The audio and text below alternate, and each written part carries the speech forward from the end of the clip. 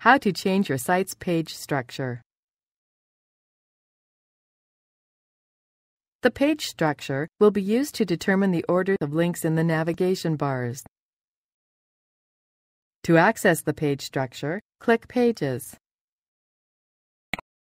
In this column, we can change the page title, description, and keywords for the selected page.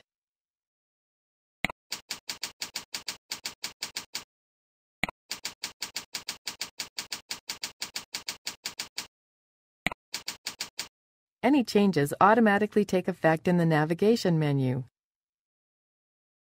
To move a page up or down in the list, first select it. Then use the directional arrows. Choose this button to delete a page.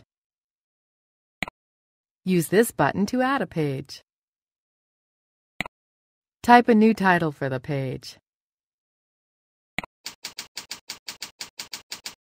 Check Hidden Page to prevent this page from showing in the navigation menu. Although not visible in the menu, hidden pages can still be accessed if you know the direct link. Click OK. Click Publish to make the changes live.